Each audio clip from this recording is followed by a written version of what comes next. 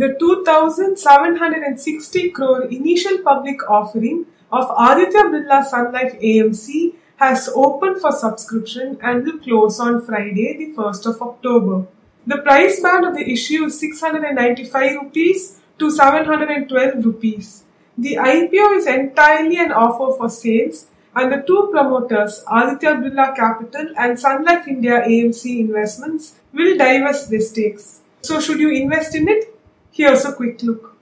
ABSL is the fourth largest fund house in terms of average AUMs and has a market share of 8.32%. The issue of about 2,700 crore rupees values the company at 6.7% of its average AUM as on 31st August and about 35 times the company's trailing 12 month earnings. These parameters are at a good discount to HDFC and Nippon AMCs and is on par with UTI AMC. For the company, the equity AUMs constitute over 38% of its total AUMs today.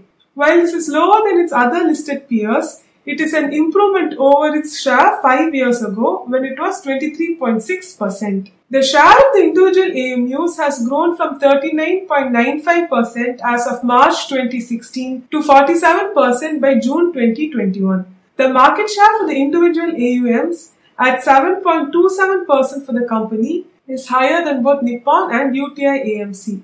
The company also has a good digital presence and a direct plan penetration. About 15% of its AUM comes from the Beyond 30 cities or B30 cities, which is an underpenetrated market with a high growth potential. It also has a tilt towards direct plans and digital transactions. The total cost to income ratio for the company has fallen to 46.7% in FY 2021 from 49.3% in FY 2020. But other companies like HDFC AMC and ICICI Prudential have better ratios. In the last three financial years, revenues from operations have dropped. This is due to the impact of a mandatory cap on total expenses, a drop in the average AUMs due to the COVID 19 pandemic, and overall market volatility. Uh, however, profits during the period have increased at a CAGR of 8.3% to 526.2 crore rupees as of March 2021. Its return on net worth as of FY 2021 stood at 30.8%, higher than HDFC, Nippon and UTI AMC. So, should you invest?